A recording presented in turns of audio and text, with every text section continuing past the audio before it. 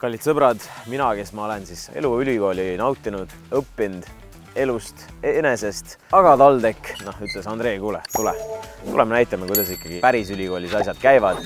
ja me olemegi siin Lennusadamas ja esimeseks me vaatame üle, kuidas siis Mereakadeemia erialal TalTechis, mis nad pakuvad meile. ideaalne ilm merele minemiseks. nii et äh, lähme, vaatame üle. kuule, ma, ma hüppan pulti kohe, kui no ikka. Ta nüüd ongi, et sa näed, lähed käest ära kogu aeg, et sa. saurik väljub täna pildi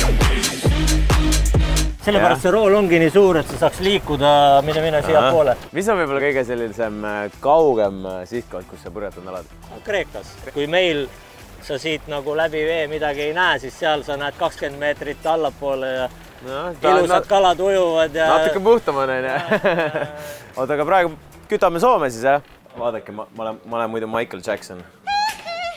Kuule natuke nagu vasakule ja paremale, aga nagu ma aru saan, sa oled äh, siis äh, TalTechi Mereakadeemias selline õppejõud ka. mis on kõige esimene asi, mis sa siis esimesele kursusele õpetad? mina nagu alati küsin esimese asjana õpilastelt, et kas ema saatis või ise tulid. mida mina selle all mõtlen, on see, et kas nad tulid ise, et tahavad seda kõike õppida või nad tulidki, et keegi ütles, et noh, mine, et seal on äge, eks ju. et äh, kui sa oled merehaige siis on võib-olla sul päris raske siin olla. Sest see on päris crazy, kuidas siin ikkagi kõigub. Isegi kaameramees ei saa hakkama. see oli close, nägite seda või?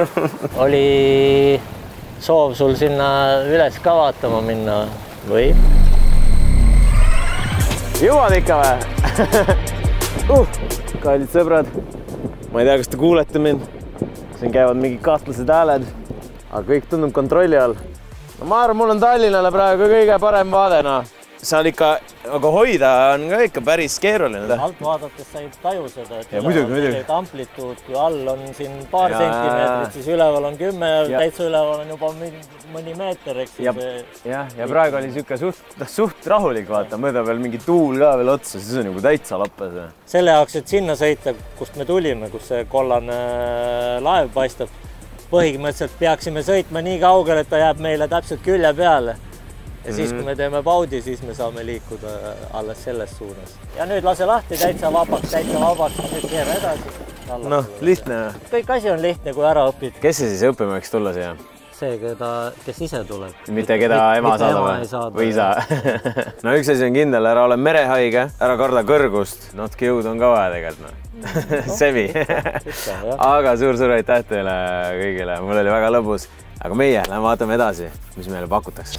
me oleme jõudnud TalTechi IT-teaduskonda ja minu kõrval on Maie. me oleme siin ruumis, kus on mingisugused ekraanid, mingisugused joonised. me oleme hetkel siis Tervisetehnoloogiate Instituudi laboris ja me mõõdame sinu pealt kõiki signaale, mida me siin instituudis oskame mõõta. inimesel mõõdetakse näiteks südamesignaale, kui läheb tervisekontrolli, siis siin me vaatame ka aju ehk siis inimest kui tervikut, kõiki signaale. aga ma kohvi olen joonud, siis kas see kuidagi mõjutab? see ka mõjutab okay. siit näedki oma seda EKG signaali. ajul on ka signaalid. ma ei tea, kas minu ajul on, aga. ja ka sinul on nüüd on mul siis käes, mul on rinnas, mul on peas mingisugused asjad ja nagu ma aru saan, nüüd äh, hakkame siis äh, mingeid asju nägema või? kui see pool on siis nii-öelda rohkem südamega, hingamisega seotud ja, ja siin jookseb siis äh, ajusignaalide pool. aju toimib?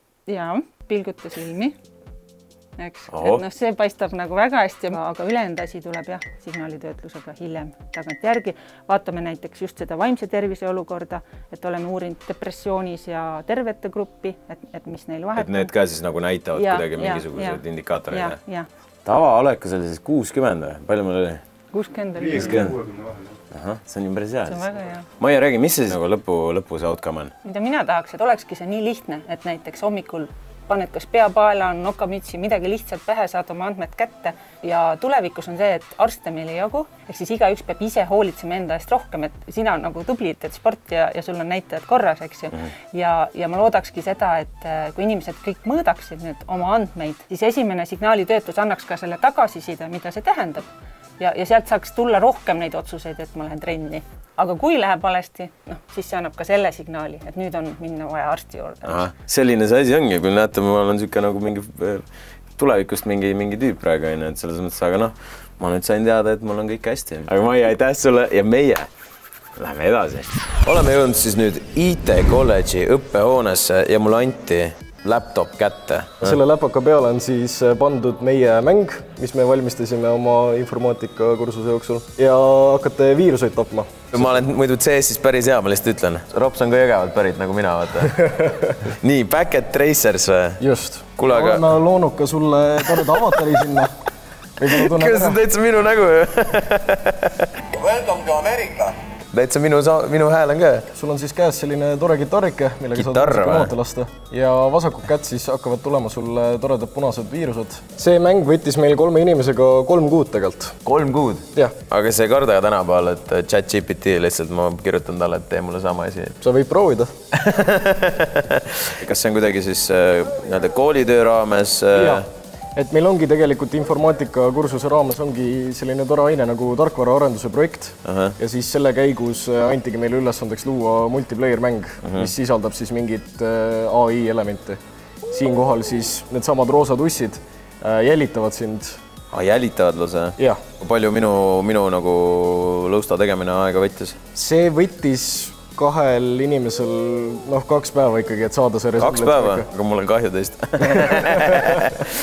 Silver mängib meil siin toreda õppejõuna härra Tanel Tammet ja siis tema ütleb neid headshot'e ja neid. Clean sweep coming through. kutsusimegi reaalselt stuudiosse ja lasimegi sisse salvestada. selles mõttes TalTechi jaoks äh, väga suur pluss on see, et õppejõud on ülitoredad ja üli kaasatulevad. see on siis see kood onju ja siis igat, igat asja saad siis põhimõtteliselt äh, niimoodi vaikselt muuta ja jah, näiteks meil on tore selline asi nagu weapon.png, tegelikult ongi näha kõik need erinevad relvaspraidid ja siis ta valibki lihtsalt, mida ta nagu parasjagu näitab tegelikult. kirjuta sinna asemele, pane sinna banana ja see bullet'i B on suurtähega, siis ta on õige. et sihuke väike viga siis ikkagi juba loeb jah? jah, loeb küll tegelikult. ja nüüd, kui me läheme mängu tagasi Welcome to America.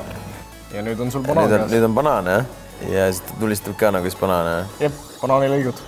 kui me tahame, siis me saame muuta need statsid ära, panna sul näiteks kõik Maxed out, jah? Et äh, voh, ja ongi kõik max'is. kõik asjad äh, maksis, siis on ikka na- natuke lõbusam. Aga suur-suur aitäh teile. Ja ma loodan, teil läheb äh, selle mänguga hästi ja et see on Steamis varsti number üks. Aitäh sulle ja väga hea meel, et sulle meeldis. nüüd me oleme jõudnud äh, IT kolledži siis õppehoone katusele, meil on ilus vaade siin ja minu kõrval on äh, doktoritööd tegev Elli. meie teeme täna neuroloogilisi teste sinuga mm, -hmm. et äh, olen küll IT-teaduskonnast ja tegelen tehisintellektiga, aga rakendan seda siis äh, Parkinsoni diagnoosimiseks. ja siin on selline test, mida siis tehakse äh, neuroloogi juures äh, vahel paberi ja pliiatsiga, aga kui me võtame siis tahvelarvuti, siis me suudame registreerida sinu siis survet ekraanile, kuidas sa pliiatsit hoiad, kui kiiresti sa teed, et see on palju-palju-palju täpsem kui lihtsalt paberi ja pliiatsiga. Pinge tuleb peale niimoodi. no pole hullu, mida varem me diagnoosime, seda parem.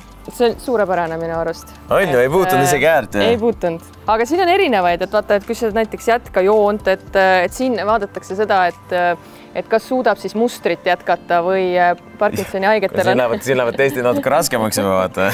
väga põnev töö on olnud, ma siin neljandat aastat teen seda juba ja igav ei hakka. Et, et sellist inimmotoorikat uurime ka tserebraalparalüüsi puhul, erinevate kognitiivsete häirete puhul, näiteks väsimus. nii, nüüd sa pead leidma leia joonista selle samasugune asi kattuvate kontuuride seas. lisaks sellele motoorikale vaadatakse ka kognitiivseid võimeid, et kas leiad selle kausi üles. vot nüüd läheb keeruliseks, nüüd on vaja selline lõ- läbilõige leida. läbilõige on see? oot, oot, oot, oot, oot, oot, oot, kuule, kuule, kuule. ma saan väga häid andmeid siit. ma pean tunnistama, mul on Parkinson vist. kui täpne siis, siis äh, see nagu on, mis sa arvad? No eksperimentaalne masinaõpe on ülimalt täpne, et üheksakümmend kaheksa protsenti, et näiteks selle joonise järgi. aga noh, seda peab testima ja testima, testima, enne kui see arsti lauale jõuab ja noh, ma loodan, et doktoritöö lõpuks, mis siis on nüüd sügisel et jõuame ka sellest äh, uurimustööst nagu edasi minna, et kaua sul see õpe on kestnud praegu üldse? Äh, kolm pool aastat, kokku doktorantuur kestab neli aastat mm., nii et, nii et viimane pool aastat on jäänud ja vaatame edasi, mis saab. Mm. no kuule, Elli, aitäh sulle. Sulle. nüüd, mis me saime teada, Siin on on see, et saime teada, et mul võib-olla on Parkinson. unustame selle ära ja lähme edasi minu taga on teedeehituse ja geodeesia tudengid. tere, sõbrad. siin on meil asfaldi proovikeha põhimõtteliselt, siin on katsetatud siis deformatsioonikindlust, kuidas põhimõtteliselt lihtsas keeles asfalt vastu peab mm. -hmm. Mis need, need kujukesed siin on? värvitud asfaldi, mis on just mõeldud jalgrattateede jaoks. et on võimalus ka teha niimoodi, et on äh, bituum on ise värvitud ja siis on võimalus näiteks, kui on sinna peale seda värvi pandud. see on see, mis siis ära kulus igal see on see, mis on näha täna, kes välja. siin on siis väike asfalditükk, silindriline tükk on ju ja nüüd me siis purustame selle või? no vaatame, mis, mis saab. Test in progress. Completed, ongi läbi või? aga mis juhtus? ta päris pooleks ei lenda, selles suhtes see ongi tulemus. ja ma tahan purustada, ma tahan, ma tahan, ma tahan näha, kas asfalt ikkagi. siis paned teine nupp. kuule, nüüd hakkab midagi toimuma, voh. ja siis ta panebki siukese pressure'i peale, saategi teada, kas see on hea mat-, heast materjalist ja kas see nagu, kas seda kannatab kasutada või mitte. lihtsas keeles küll jah. mina mõistangi ainult lihtsalt keelt, ups. Siin on TalTech meil siin kõrval on ju, me oleme siin siin ristmikul, kus ma olen, kusjuures mööda sõitnud. siin tegelikult need asjad siis põlevad jah? nüüd peaks äh, minema siis samat värvi, mis on foor. tänapäeval on kõik nutitelefonis kinni, siis tulevad siis äkki panevad siis tähele ka, et hakkavad teed ületama. et kuule, hops, kuule punane on vist, et ei peaks üle minema, onju. teedeehitus ja geodees on selline väga spetsiifiline eriala, et kuidas te võib-olla leidsite siis selle tee siia? Kuna mul isa on ehitaja, siis ta alguses nagu suunas ja muidugi mul esimene praktika oli äh, siis nagu silla valdkonnas.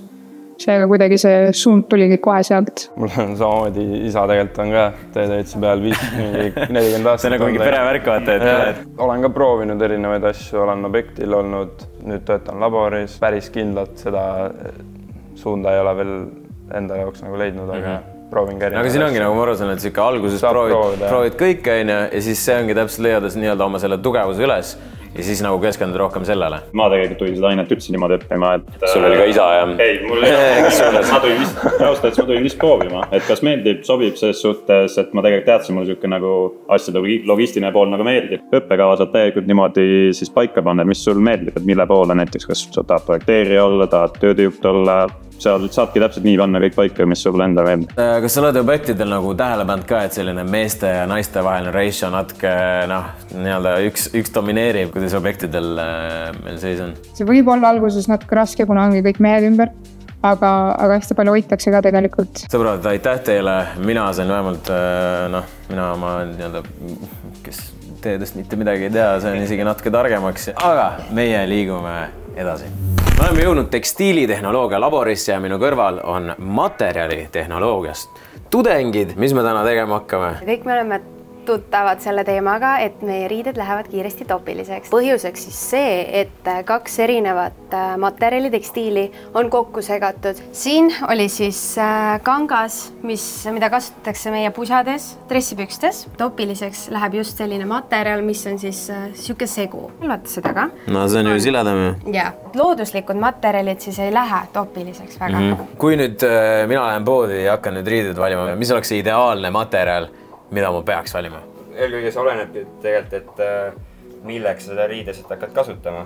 aga kui üldistus teha, siis võib-olla see, et äh, see kiud peaks olema kvaliteetne.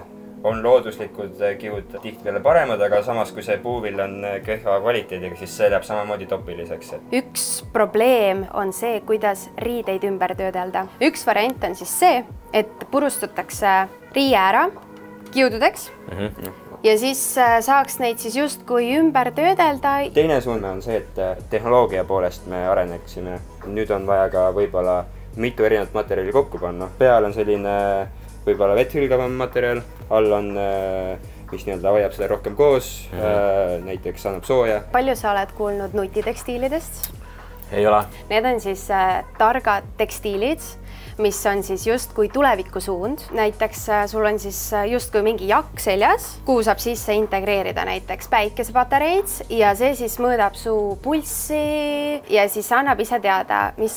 päriselt räägid mulle praegu? ja, ja see on ju, need on juba olemas. ongi nii? ja on olemas, aga hetkel on nad siis natuke ikkagi kallimad, ma tean, et Norra kaluritel on siis sellised riided, et äh, kus neil on niisugune häirenupp, et kui midagi juhtub, siis nad saavad kohe vajutada ja kohe sõidetakse appi. kas sa oled mõne näiteks särgi endale roosaks pesnud või midagi sellist? kusjuures just, just hiljuti jah siin on tehtud katsed äh, kuiva ja märja kangaga. et ühesõnaga, Texa annab äh, kõige rohkem ja siis muidugi ilmselgelt Velveti, Velveti värv jah demonstreerimaks sulle, kui lai see tekstiilitehnoloogia valdkond tegelikult on, on siis äh, tekstiil, mida kasutatakse siis äh, inimkeha sisemuses. kui sul on näiteks mingid veresoonkahjustused, siis valmistatakse niisugused tehislikud veresooned tekstiilist Mm -hmm. ja need siis äh, pannakse siis inimese sisemusse ja aegamööda siis äh, inimese rakud kasvavad sinna peale ning moodustavad uued veresooned ja see tekstiil laguneb ajas ise seal kehas ära. mul on niisugune tunne, et sa valetad mulle ka terve aeg, mis sa siin rääkinud oled. seal on reaalne selline Norra kalu, kalurid ja tekstiilist veresooned ebareaalne. Teil on äh, teises laboris mulle ka veel mingisugused ülesanded. no lähme sinna, lähme vaatame, mis seal toimub. meil on kitlid seljas, mis toimuma hakkab? me oleme nüüd äh, jõudnud äh, polümeri laborisse ja siin on oluline, et äh, kui mingi kemikaal läheb sulle peale, et see võib-olla ei sõõvitaks või su mm. rõivad või nahk ära ei rikuks mm. et kitlid ja siis paneme ka prillid pähe. prillid ka, jah? meil on ette valmistatud siin nitrotselluloos, tead, kust tselluloos on muidu põhjaliselt? no ütle mulle äh,. puidus. jah, täpselt, ma teadsin siin on meil kuum pliit, see on tavaline tselluloos, et pane sinna kuuma aluse peale et, et see läheb lihtsalt tumedamaks. nii, ja nüüd on tehtud sellest samast, on äh, sünteesitud äh, nitrotselluloos. pane see sinna ja vaata, mis juhtub. vaba. see oli päris lõbus, pane üks veel. teeme veel või? miks see vajalik on, miks me, miks me peame seda tegema? see katse ilmestab seda, et kuidas saab äh, lihtsalt puidus olevast tselluloosi teha sellise plahvatusohtliku asja, et me oleme nüüd äh, kahes laboris olnud, äh, mis siin veel teha saab? me enne käisime tekstiillaboris mm, -hmm. nüüd oleme siin äh, polümeeride suuna peal. veel on meil siis metall, targad materjalid ja viimasena on meil näiteks ka puidu nii-öelda suund.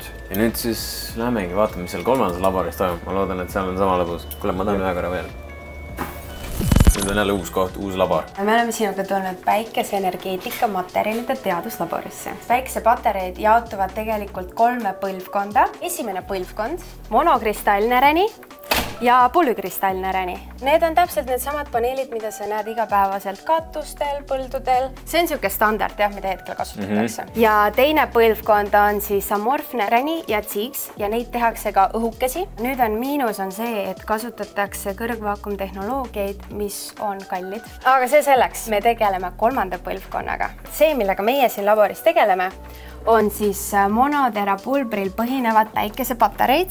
siin on siis äh, räni mhm. päikesepatarei, mida sa näed katustel mm. -hmm. nii et äh, sa võid teha katki. nii, kas sa näed, kui habras ta on?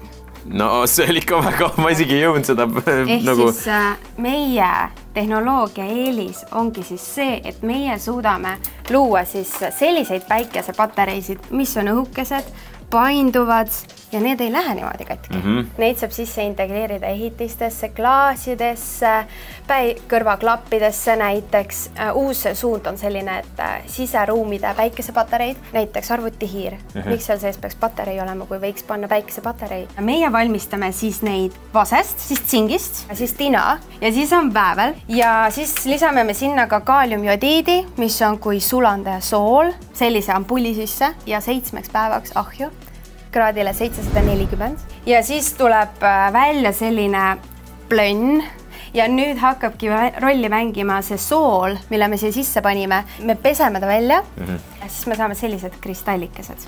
ja siis järgmine suund ongi siis membraani valmistamine mm -hmm. ehk siis need kristallikesed nüüd raputad polümeeri peale mm. -hmm ja nüüd seda sa hakkadki tegema koos minuga. võtad selle pulgakesega siis siit natukene seda epoksvaiku ja tõmbad siis siia ühe triibu. kui ta jõuab siia, siis sa pead kinni panema. paus või? ja oota, mitte veel, nüüd või? ei, natuke veel, natuke veel, natuke veel. nüüd, nüüd. võid selle kile siis siia peale tõmmata, et põhjust ära tulla. väga satisfying oli see praegu. ja nüüd äh, võid siis äh, niimoodi kergete liigutust, liigutustega mm -hmm. valmistada päikesepatarei siis. ideaalne. no peaaegu valmis. sinuga me siinkohal lõpetame mm. -hmm. tegelikult äh, katame me siis äh, ühtlase kihinada Mm -hmm. et äh, liigseid kristalle ei jääks sinna peale ja seda monopulbertehnoloogiat äh, siis kasutatakse tegelikult ainult meie laboris üle maailma. et see on siis selle poolest päris eriline ainult siin või? ja ainult meie laboris. teised on ka proovinud seda, aga Nad meie ei oska. Ei oska nii hästi kui meie. kas sa tahaksid mikroskoobi all ka natuke vaadata muidugi, neid, et millised mikroskoop siis tegelikult meeldib. näevad muidugi, välja? muidugi, muidugi, vaatame. Ussa, see on mingi miljon väikest kivikest lihtsalt. siin vahel on siis see epoksvaik ehk see polümeerikiht, mille me tõmbasime sinna peale, onju. Mhm. ja nüüd need kristallid on tegelikult nagu osaliselt sinna sisse läinud. no nii, viimases laboris käidud. Anna-Veel, Tristan, aitäh teile. Mina sain kindlasti palju targemaks jällegi ja meil on veel viimane eriala, nii et lähme vaatame üle, mis see on. no eks me kõik tahame olla ettevõtjad, mõni meist juba on, aga kas me ka oleme jätkusuutlikud ettevõtjad, seda ma ei tea. olen kutsunud siia minu kõrvale Merle, kes võib-olla tutvustab, mis asi on siis äh, jätkusuutlik ettevõtlus ja ringmajandus. Jätkusuutlik ettevõtlus on selline ettevõtlus, mis ainuüksi ei kasuta kõike seda loodusressurssi ja toorainet, mis meil on täna saada, vaid ta juba oma ettevõtlust planeerides oskab äh, näha, kuidas see toode või teenus oleks võimalikult väikese keskkonnamõjuga. näiteks Eesti riik on oma ressursid ära kasutanud juba kaheksandaks märtsiks, nii et täna me elame siin juba tulevaste põlvedele võlgu. ja see õppekavas tegelikult on ju esimesest aastat. ja see on hea võimalus olla millegi täiesti uue alguses. Ida-Virumaale on suunatud kolmsada viiskümmend miljonit üleminekufondide raha ja siin on megavõimalused noortele. mul on niisugune tunne, nagu ma oleks praegu vaata järeltunnis, ma tulin Niinet parandama, et jumala eest see kolm miinus kätte saadavad. no vaatame, kas sa üldse midagi õppinud oled nii, mis sa arvad, mis on jätkusuutliku majandusmudeli kolm põhisammast? mul just täpselt see küsimus jäi vahele õpikus. kas jätkusuutlik majandus peaks arvesse võtma sotsiaalseid asju, majanduslikke aspekte, tehnoloogia, neljas vihje keskkond. vali nendest kolm põhisammast. sotsiaalne või? kindlasti. keskkond? kindlasti. tehnoloogiline? majanduslik? Siis kumb? majanduslik. majanduslik muidugi Yes. sellepärast, et äh, ikkagi õpetame ju ettevõtlust ja Mhm. ettevõtlus peab olema kasumlik, aga see kasum peab äh, tekkima ausal, jätkusuutlikul äh, viisil, eks. kallis õpetaja, mis sa mulle järeltunni indeks paned siis? tugev kolm. tugev kolm, okei okay,, mulle sobib iga kaardi taga on vastused, kui palju need toodavad süsinikdioksiidi. pendelränne jalgrattaga, kümme kilomeetrit sõit igal tööpäeval ühe aasta jooksul ja see toodab viis on- kilogrammi süsinikdioksiidi ja nüüd ole hea, tõmbasid pakist veel üks kaart. keskmise Eesti elaniku äravisatava toidu hulga vähendamine poole võrra. kas see on rohkem või vähem? ma eeldan, et see on isegi kõvasti rohkem. see on miinusega. veelgi parem, kui jalgrattaga tööle tulla kümme kilomeetrit. ja no Merle, enne kui ma sind lahti lasen, siis ma tahan sinult ka ikkagi küsida, noh, järgmine pendelränne onju, suure diisliautoga, näed, võtame siit siis ühe kaardi. ja siis sa pead arvama, paki saatmine lennukiga Hiinast Eestisse, kahekümne viie liitrine pakk internetist ostetud, üks kord kuus, ainult transport, aga samas diiselauto mm, kaks tuhat kuussada kilogrammi, see ei ole võimalik, et see väiksem on. See on väiksem, ei ole? muidugi on. okei okay. suur-suur aitäh sulle ja loodetavasti siis tegelikult see nagu inspireeris inimesi natuke selle peale mõtlema sellist julget kriitilist noort massi on hädasti vaja mm. -hmm kes äh, hakkab maailma muutma. no mis seal ikka, minul on kõik erialad ja kõik õppekavad proovitud, nüüd on ainult äh, sinul jää- jäänud need proovida, nii et äh, kolmandal juulil on viimane aeg, kui sina saad TalTechi siis kandideerida, nii et kasuta seda kindlasti. mõtle nende erialade peale, mida mina siis läbi tegin. mulle meeldisid kõik, aga teate, mina olen selle eluülikooliga harjunud, nii et äh, ma, ma, ma jään eluülikooli nautima.